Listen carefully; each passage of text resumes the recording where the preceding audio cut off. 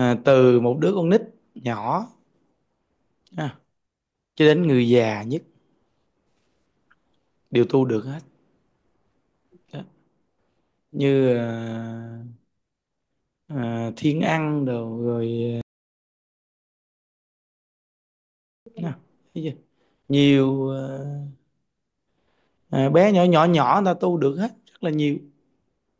Nó nên à, rồi à, lớn tuổi ví dụ như à, bên Quảng Tâm Đồng Sáng đồ này kia nó đó là người già người ta cũng tu được. Đó, rồi ờ, mấy đứa bé nhỏ à, tệ thương đồ. Ừ. Đó không còn sùng sồn thì mấy bà như Lục Nguyễn gì đó. Cũng tu được. Đó là cái mà mình thấy rõ ràng là tam căn phổ độ hoàn thánh tề thâu nghĩa là ai vào đạo tràng mình thì tu được hết. Rảnh được thì lễ phật.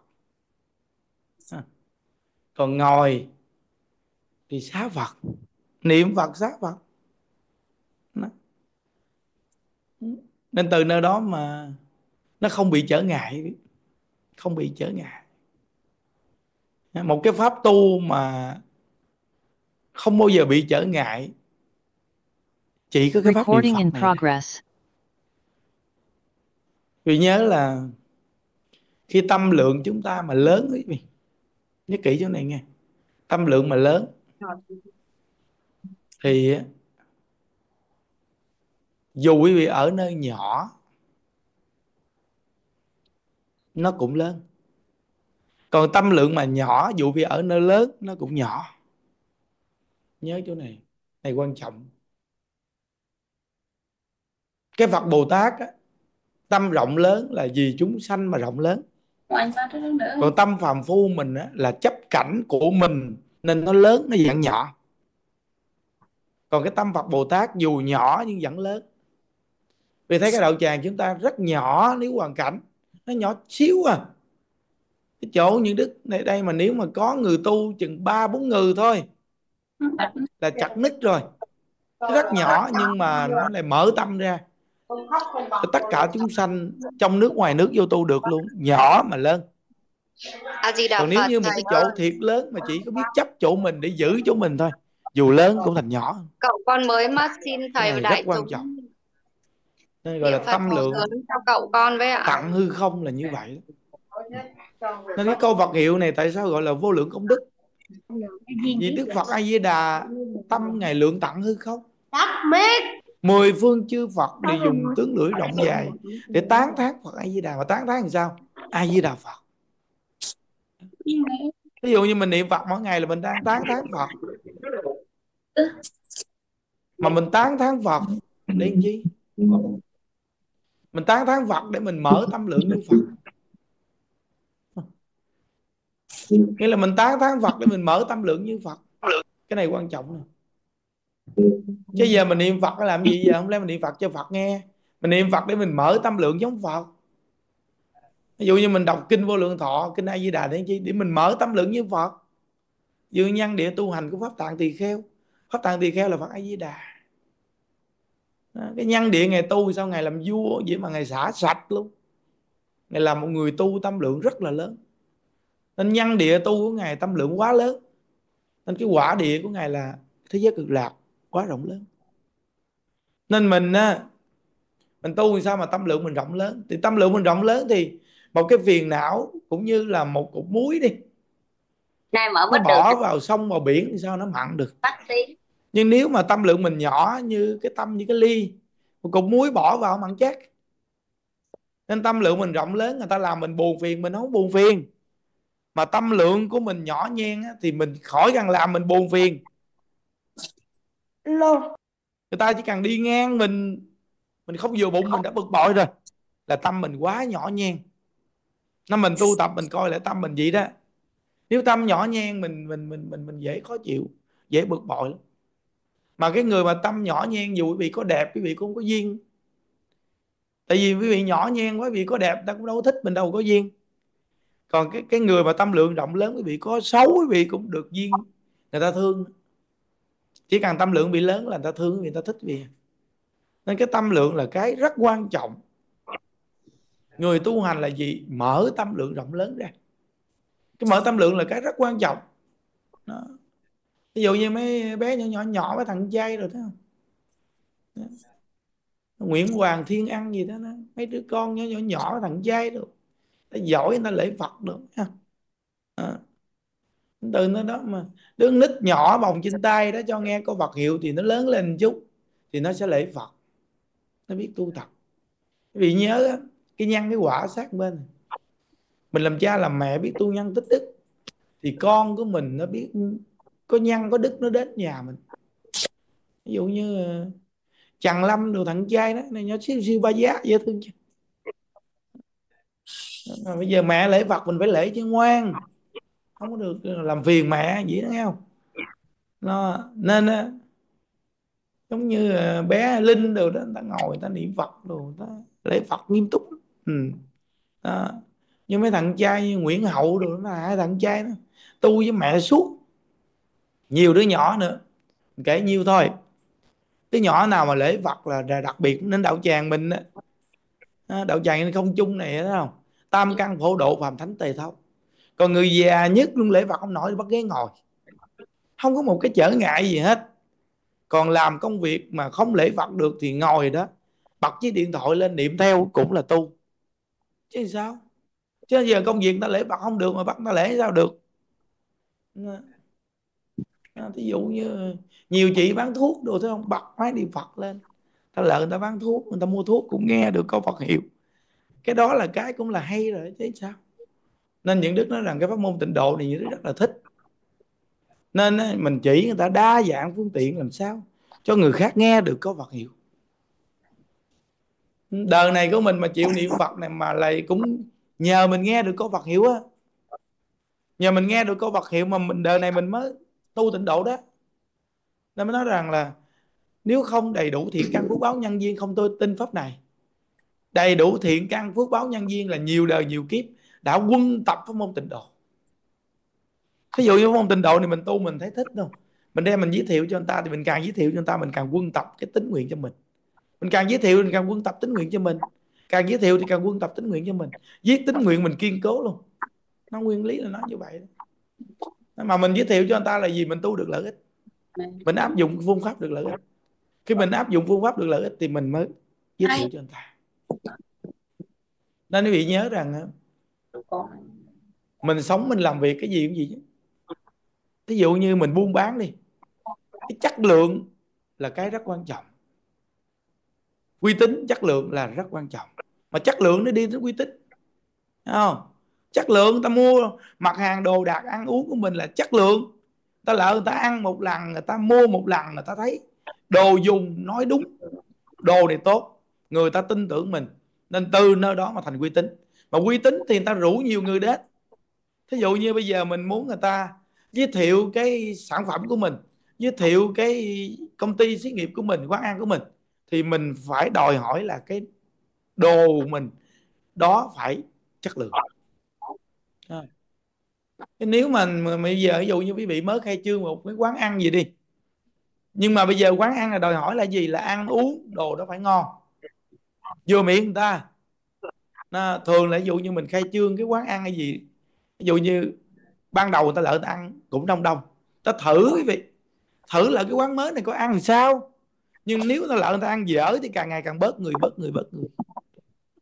Nên cái khởi đầu đông cũng chưa chắc đông. Mà cái ban đầu ít mà từ từ lên đông là đúng. Thí dụ như bây giờ cái phương pháp tu của những đức đưa ra cho vị tu ban đầu nó ít mà tu càng ngày càng đông đông đông đông đông. Lại quan âm ban đầu ít, từ từ đông đông đông đông đông. Chùa ban đầu ít, từ từ đông đông đông đông đông. Có nghĩa là càng ngày nó càng đông, càng ngày nó mở rộng ra, phạm vi rộng rộng ra. Trong nước, ngoài nước, người ta biết, người ta chấp nhận, người ta chịu tu. Và quý vị thấy rằng phương pháp tu này không? Gia đình người ta thích vui ghê chưa? Thật sự mà nói quý vị biết câu Phật hiệu này mà chăng thật niệm á, nó từ từ nó điều chỉnh con người chúng ta có quy tắc nằm bên trong con người mình á, đừng có đặt vấn đề quy tắc khuôn quá con người sẽ bị giống như nó nó bị con ràng buộc quá. tu ở nhà. Cái con người bị ràng buộc quá nó bị khó tính. tạo râm mà khó tính rồi mình đem cái khó đưa cho người ta. Duyên phước của mình cũng kém đi. Nên các vị mà ta tu hành thời xưa tốt tốt tốt. Ta vui lắm ta dễ tính tốt tốt tốt. Cái tốt này là cái gì? Thiện ác là nhân quả tốt. Được mắt là nhân quả tốt thành bại là nhân quả tốt. Tốt là của người ta là tin nhân quả đấy vị. Nên tốt. À, còn mình không tin nhân quả mình cho là nếu bản thân mình cho cái này tốt này không tốt. Còn người ta tin hoàn toàn nhân quả nên tốt tốt tốt. Tốt của nhân quả quý vị á. A di đà phật. giống như người ta cho người này ăn nhiều cũng tốt cho người này ăn ít cũng tốt. Cho người này ăn ngon cũng tốt cho người này ăn dở cũng tốt. Người này bệnh hoạn cũng tốt người này khỏe mạnh cũng tốt. Vì nhân quả của bạn nên tốt cái đó là cái cực kỳ quan trọng quý vị. Nó rất là quan trọng. À, ví dụ như giờ ngọc danh với kim tho hoa hậu kim tho mở ra quán ờ, quán chai. Ẩm thực chai kim tho đi. Những đứa nhìn qua thì thấy rất là đẹp. Nhớ kỹ cái đẹp đó nó chỉ một phần về hình thức để thu hút thôi. Nó chiếm ưu thế cho quý vị 30% nhưng thức ăn nó quan trọng tới 70% ví dụ như quý vị cũng biết qua Hoa hậu Kim Tho. Thức ăn quán cũng, Kim Tho những ngon lắm chương trình thầy ơi. Kim Tho. Uh, hát rồi rủ mấy chị em ca anh chị ca sĩ đến hát. Ăn tình nó rất là đặc biệt. Khi cái ngày khai trương thì những đức trong thời điểm những đức không đi ra ngoài nhiều. Nếu như lúc trước thì có thể như đức đến dự tại vì cũng ăn tình nên từ nơi đó mà những đức nói rằng kinh doanh đồ ăn dù là cái hình ảnh bên ngoài cũng rất quan trọng. Đó là cái chỗ mà người ta đến mời bạn bè đến nó cũng cảm thấy hãnh diện. Và thêm cái nữa cũng là tôn trọng người ta. Nên cái chỗ sạch sẽ thoáng mát điều đó cũng quan trọng. Nhưng nó chỉ ưu thế đó nó quan trọng đúng được. rồi thầy 30 40 phần trăm thôi còn thức ăn nó chiếm ưu thế 60 phần trăm. Nhưng 60 phần trăm này mà đồ ăn thức uống nó không đạt. Quán kim tho ba bốn mươi phần trăm kia ngon rớt. nha chưa rất thật sự thất bại liền. làm sao mà người ta đến ăn một lần mà người ta cảm giác đồ ăn thức uống ở nơi đó ăn ngon? Phục vụ lịch sự. Rồi hoàn cảnh nữa kết hợp nữa thì thành công ngay cái địa điểm kinh doanh của chúng ta một cái gì đó bình dạ. an. Mà đồ ăn thức uống đem ra ăn vừa miệng. Cái này rất là quan trọng đồ ăn thức uống quan trọng tại mình đến để ăn. Chứ không phải đến để tham quan đâu ta đến để ăn. Nên cái đồ ăn cực kỳ quan trọng. Vì những đức cũng là vị trí từ ngày xưa là từ cái chỗ ăn uống đi ra từ quán ăn nhà hàng thì đức xuất thăng từ điểm đó thành phố đồ ăn uống đồ này như đức biết. Lỡ chỗ nào ăn một lần ăn ngon mình sẽ nhớ liền. Rồi phục vụ mình mà thấy mình thấy lịch sự vui mình sẽ nhớ. Nên mình sẽ đủ bạn bè mình giới thiệu nhiều người đến. Thành công là ngay chỗ đó đó quý vị. Đó, đó là gỡ lời đến với ờ, ngọc danh với hậu kim thó. Nên là kinh doanh là chỗ ăn uống là quan trọng. Đồ ăn thức uống rất quan trọng. Hãy kiếm một người thợ nấu chuẩn nấu đồ ăn thức uống đạt tiêu chuẩn. A di đà phật đúng nếu rồi như mà mình ơi. À, nấu ăn mà không ổn định thì chắc chắn không bao giờ lâu dài thành công. Đây là cái rất quan trọng.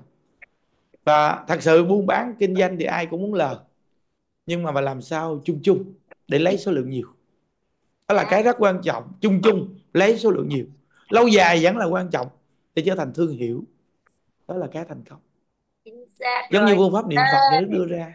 Như thế ngày xưa như đức ở chùa cao phật lớn quý vị thấy người vị đến cũng ào ào.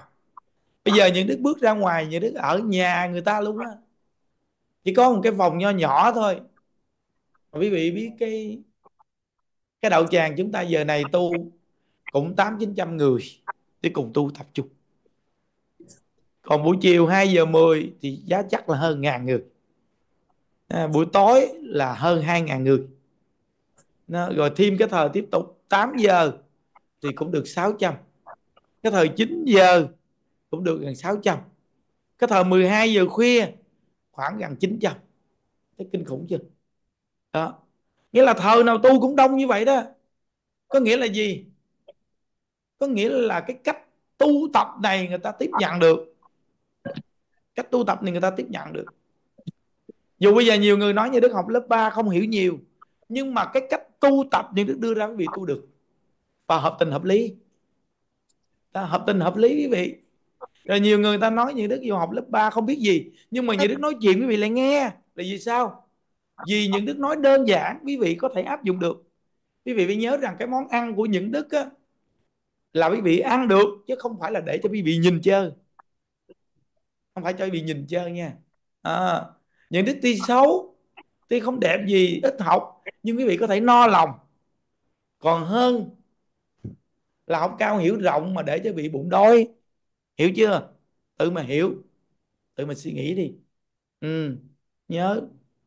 Nên á chúng ta sống với nhau bằng cả tấm lòng. Đây cũng là một thương hiệu của một con người. Bằng cả tấm lòng. Sống bằng cả tấm lòng quý vị. Còn con người thì dấp ngã và sai lầm. Không ai mà không dính phải như điều này. Các Phật Bồ Tát đến với cuộc đời này cũng có khi thể hiện sai nữa vì các ngài không thể hiện sai làm sao các ngài vớt người sai? Quý vị coi cái cõi đời này sai nhiều hay đúng nhiều? Sai nhiều. Giàu nhiều hay là nghèo nhiều? Nghèo nhiều. Đẹp nhiều hay xấu nhiều? Xấu nhiều. À, nên từ nơi đó mà cái việc mà sai và xấu và nghèo thì Phật Bồ Tát thường thể hiện những điểm này nhiều. Vì để làm chi? Để vớt những người đó lên. À, quý vị biết quý vị quá giàu, quý vị quá đẹp. Học cao hiểu rộng á người xấu, người nghèo. Người ít học, người ta sẽ không dám gớ đến quý vị đâu. Nó thật sự luôn á. Nên Bồ Tát Quán Thế Âm Thị Hiện, rất đẹp. Nhưng mà ngài lại bước lại, dỗ dành một người nghèo, xấu, tắc nguyên đi xin ăn. Dỗ dành. Một lời nói thôi. Một đôi tay ngài thôi đã làm cho người đó chạm đến trái tim người đó. Nên ngài mới độ được người đó hiểu chưa? Đó nên từ nơi đó mà mình phải đồng hành làm sao phù hợp đồng hành phù hợp. Nên những đức nói bất cứ một người nào gặp những đức đều là tu được hết. Người nào gặp những đức đều là tu được hết. Chỉ có một người không tu được là gặp những đức không thích và không tu thì chịu thua.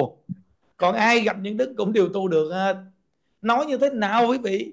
Nói những đức những đức đều nói bị tu được. Thì nói rằng tôi xấu lắm những đức nói tôi cũng xấu. Cái gì vậy? Tôi lùn lắm những đức nói tôi cũng lùn mấy samba thấy không? Rồi. Tôi hư lắm. Tôi cũng hư. Tôi còn hư hư hơn bạn. Nó nên tôi hư tôi hư cả đời. Tôi hư tới trong chùa. Tôi hư được mà tôi giảng niệm phật được nè. À, tôi nói dối lắm. Những đức nói tôi cũng đã từng nói dối rất nhiều. Nhưng bây giờ sửa lại. Cố gắng. Đó, thấy không tôi ít học nữa. Tôi cũng ít học hơn bạn nữa. Bạn không thể nào học dở bằng tôi. Tôi học tới lớp 3 mà mỗi một năm tôi ở lại ba lớp. Bạn bằng tôi không? Đó. nên từ nơi đó vớt người ta lên. Ủa vậy con người này tu được? Tu được. Vậy thì tôi cũng tu được. Đúng bạn cũng tu được. Vậy thì đức phật năm xưa độ sanh làm sao? Ngài sẽ quyển chuyển cái nhân duyên ngài chuyển bánh xe độ chúng sanh bằng cách là ngài sẽ kể về nhân duyên của ngài trong vô lượng kim vì đức phật là bậc toàn giác toàn năng. Toàn giác là hoàn toàn ngài nhìn được vô số kiếp của ngài đã từng như thế nào thế nào. Ngài kể những cái kiếp này như sao sao sao. Cho chúng sanh nó nghe chúng sanh nó thấy ô vậy là họ có cơ hội để làm phật. Nên từ nơi đó toàn năng là ngài có khả năng kiên nhẫn kiên định để giúp chúng sanh toàn giác là sự hiểu biết hoàn toàn thông suốt. Toàn năng là khả năng nào như thế nào ngài cũng độ được hết. Phật thầy mà pháp môn tịnh độ này gọi là pháp môn toàn giác toàn năng. Nếu quý vị đem pháp môn tịnh độ này đi giới thiệu mà quý vị quá cái nhiều đưa ra cái trở ngại là thất bại. Vì hãy để cho con người tu lâu nó họ có thời gian. Khi họ tu lâu họ tự điều chỉnh được. Thí dụ như vị mới ăn chay đi. Vì mới ăn chay đi người ta mới phát tâm ăn chay. Ăn hạ kiệu à, gì đâu cũng tăng người ta cần ăn một chút để tăng chay. Thì vị nói được đối với người mới ăn chay. Nhưng đức hỏi vị là ngủ tăng đối với ăn thịt. Cái nào nặng cân là Phật? Thịt nó nặng hơn. hay lắm vì ngũ tăng nó vẫn là thực vật. Ngũ tăng nó vẫn là thực vật. Còn ăn thịt là sát sanh. Mà ta ngưng sát sanh mà ta còn ăn ngũ tăng thì là được. Hiểu không ta ăn chay lâu ngày, từ từ từ từ từ từ từ rồi. Cái mùi của ngủ tăng người ta cảm thấy hôi, người ta không ăn nữa. Đó là tự người ta không ăn. Ban đầu mà nếu không cho người ta ngủ tăng để kết hợp, để cho món đồ ăn được thơm tho, thì người ta không ăn chay. Mà không ăn chay thì cực kỳ thiệt thòi. Đó là cái mở ra đi từ từ từ từ. Xin thưa quý vị, chư Phật Bồ Tát không phải như phàm phu chúng ta, như những đức này ăn chay mười mấy năm nè. Bây giờ mà nghe mùi, mùi ngủ tăng hoặc là hành hạ kiệu thì chỉ cần phi thôi. Đồ ăn bỏ vào một cái món bánh tráng trộn một chút thôi. Quý vị ăn quý vị thở ra thôi. Những đức đã nghe mùi những đức biết mùi ngủ tăng à, ờ, ăn chay 15, 16, 17 năm vì sẽ biết liền. Sẽ nghe mùi đó sẽ quý vị không chịu đâu. Nhưng mà Phật Bồ Tát của an toàn không có trở ngại chỗ này một trăm phần trăm Bồ Tát không có trở ngại lắm thầy ơi quý vị nghe mùi tỏi vị có thể bụm mũi bị đi nhưng Phật Bồ Tát không bao giờ bị trở ngại mùi gì hết trơn. Quý vị biết rằng Đức Phật Thích Ca Mâu Ni ngài đi khất thực. Có một bà già bà, bà nghĩ cái số phận bà quá nghèo khổ. Bà có một bát cơm đi xin được một bát cơm thiêu. A di đà phật thầy giảng quá hay đúng hôm nay gặp đức phật bà mong rằng bà có một bát cơm xin ăn. mà thiêu này mong cúng dường đức phật có thể nhận cho bà được. Tâm niệm mà nghĩ như thầy phải không có gì cả. và đem bát cơm hẳn nhiên cúng dường cho đức thế tôn Bạch ơi làm ơn để cho thầy giảng nghe chút thầy đang giảng mà mấy chị mấy cô nói làm sao mà người ta nghe được. Hôm nay cô xin mấy cô ơi thầy đang giảng tôn trọng thầy tí xíu nha. Cầu xin đức thế tôn nhận cho con. Đức phật biết được tâm tư của bà nghèo khổ. trong tâm cảm thấy ngại ngùng khi cúng dường cho đức phật một bát cơm hẩm hiu đức phật đón nhận bát cơm hẩm hiu và múc ăn trước mặt của bà lão chú nguyện cho bà. Mấy ngày sau, bà bỏ thân khổ đau, sanh lên cõi chờ hưởng phước. Đồ ăn vào tay của phật bồ tát hoàn toàn là mỹ vị. Chúng ta chỉ là kẻ phàm phu.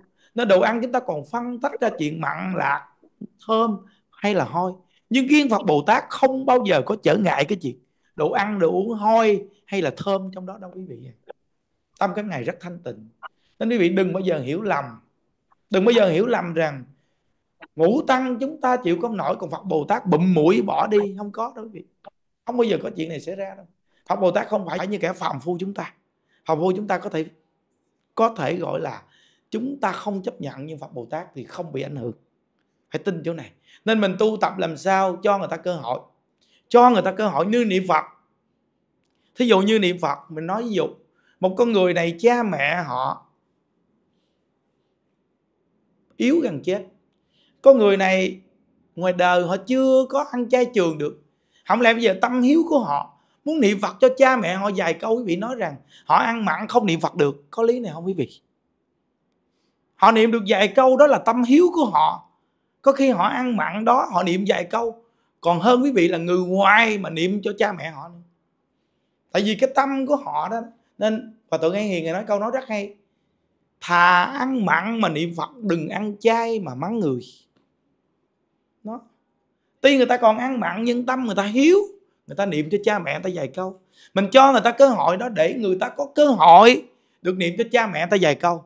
Hoặc bạn bè, anh em, người thân còn ăn mặn ngoài đời quý vị, còn nhiều người ăn mặn chứ nếu như nói ăn mặn mà không hộ niệm được vì bị đoạn duyên rất nhiều người.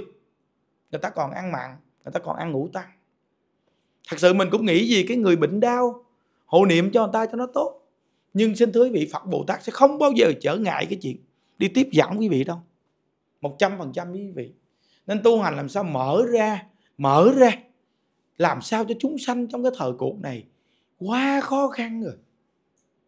Trao đảo quá nhiều việc rồi quý vị biết mình, nếu mình được ở trong chùa, mình được trong một hoàn cảnh bình an, mình tu hành, quý vị nghĩ cái người ngoài thế gian phật tử, người ta đi làm thuê làm mướn cực khổ vô cùng, chạy đôn chạy đáo. Nên làm sao cho người ta được tu? Cơ hội cho người ta được tu dù là một chút. Đến với cuộc đời này nó cũng ý nghĩa vậy. à. Đó là điều nhà đức chia sẻ. Mong rằng chúng ta mỗi người tu hành nên nhìn vào thời đại này mà chúng ta áp dụng Phật pháp làm sao? Tiện một chút, dễ một chút để cho những người tu lâu thì như chúng ta thì có thể áp dụng. Nhưng người mới tu cũng có thể áp dụng chung với chúng ta. Vì pháp môn tịnh độ gọi là pháp tu, mà tam căn phổ độ phạm thánh tề thâu là căn cơ nào, chỉ cần muốn tu, đều có thể tu được. Chúc quý vị an lạc quý vị ơi. Ai di là phật.